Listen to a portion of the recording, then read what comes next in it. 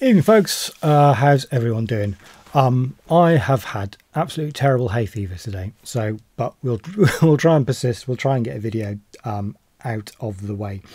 Today we're going to sync up the Microfreak to uh, well, in this case, uh, a Volca drum. So I guess this will be the sync video, but like the Volca flavored one.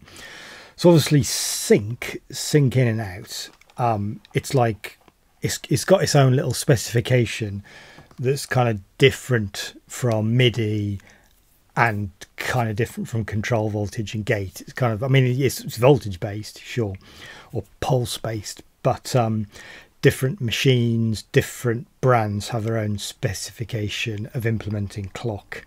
Um, from what I can understand from my reading, Korg prefer the two pulse per quarter specification Teenage Engineering, I think, we'll have a different one, but we'll look at that in a different video. Um, and some of the older, like LinnDrum, I think that's like 24 pulse per quarter. And there's other ones that are, I think it's 48 pulse per quarter. Maybe that's the old LinnDrum. And then there's 24 pulse per quarter. But anyway, Korg, as my understanding is, we're in two pulse per quarter territory. Um, so if you want to use the so in well in this setup we'll use the Volca drum as our brain to control the tempo. So that means because you know the Volca drum has a nice like tempo switch and a nice sort of readout telling me exactly what the tempo is. It can do half half half measures as well. So I can set the tempo to 78.5 um, BPM, um, 79, 78, 78.5. Yeah. Um, on the Microfreak uh, at the back there's clock in clock out. So because we're using the Volca drum as our brain we're gonna we're gonna do clock in. Um, so this is the noir edition sorry the stellar edition um, which is has a kind of noir look. Um, on my unit these switches are really really tight um, I don't know whether that's that's that, that's an issue. I don't know whether anyone else has, has found that. Um, it everything seems to work, um, but just FYI. Um, okay, we don't need to do anything to the Volca drum other than obviously a 3.5 mil cable coming out of sync out and then if you want to hear it obviously use I'm using the headphone socket this brown cable here. It's going into the split mix which goes into the mixer. Couple of things to set up. Um, so we want to say what is the clock source? Um, and what format is that clock source? Okay. So utility and we want utility sync, press in. Um, first of all, we'll set the source. Options are internal. Yeah, that makes sense. USB. Yeah, that makes sense. There's obviously USB control there. Um, MIDI. Again, that makes sense. There's MIDI control. Um, oh. And then there's clock.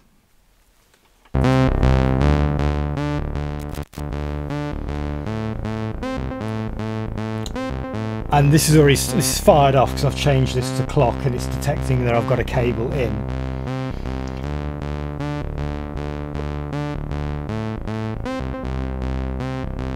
I've also got sync setting auto. Not sure what auto does. But there we go. So MIDI. Obviously not sending any MIDI clock then the next thing to set up is we want sync. Um, we want to set the clock and this is where we set it. So it's currently set to one step which I don't want. Um, 2 ppq that's what I want because I'm in Korg Volca world. Um, my other option is 24 ppq um, pulse per quarter. That's insane, right? That's 24 pulses per quarter note. Um, and there's 48 pulse per quarter. So one of them is the old LinnDrum specification, I believe. Um, yeah, so those, those are my options. So we're going to leave it set to PPQ. Awesome. Okay.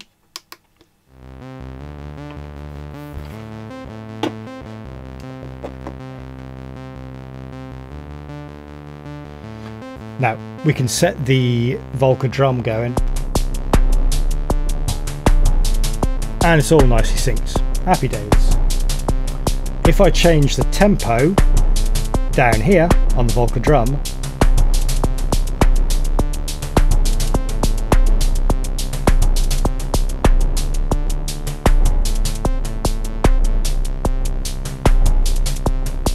There we go. Easy peasy. Now,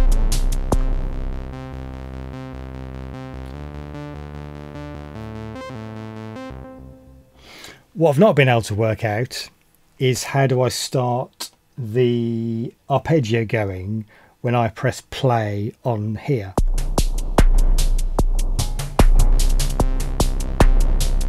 I mean, that's one way of doing it.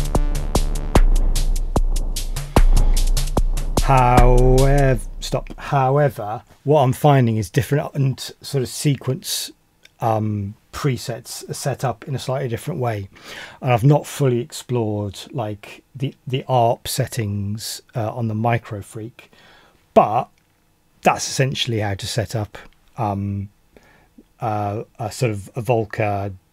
Well, I'm using drum, but it would probably work for beats and sample and well, yeah, any of the Volcas that send um, sync out Volca modular.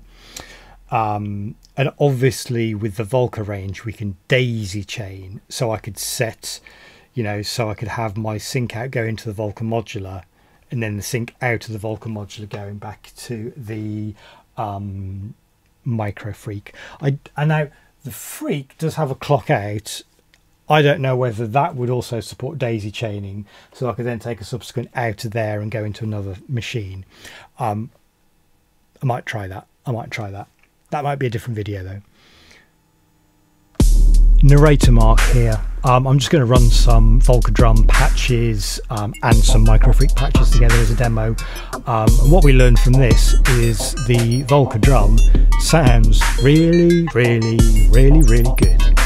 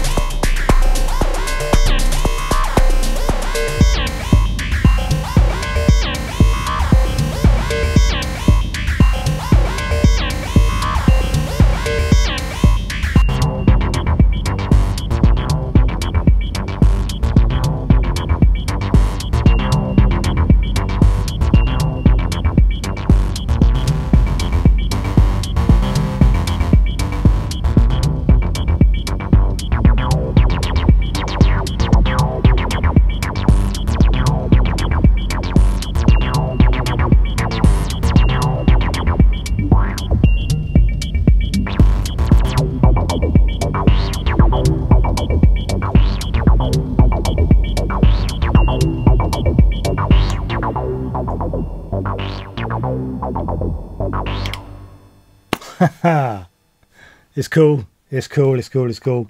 So super simple setup. Um, nothing more to say really. Um, we can try some experiments with daisy train daisy chaining but let's, let's do that in another video so what we've done is just basically today we've clocked the micro freak to a Volca modular this setup should work for any of the Volca range um, yeah um, can you hear that the microfreak it is a bit noisy yeah I think that's just um, an AC hum because even with the, even with the uh, the master down, you can hear it humming away. Hmm, hmm, hmm. Might need to think about that. Um, all right, that's the end of the video. Um, any questions?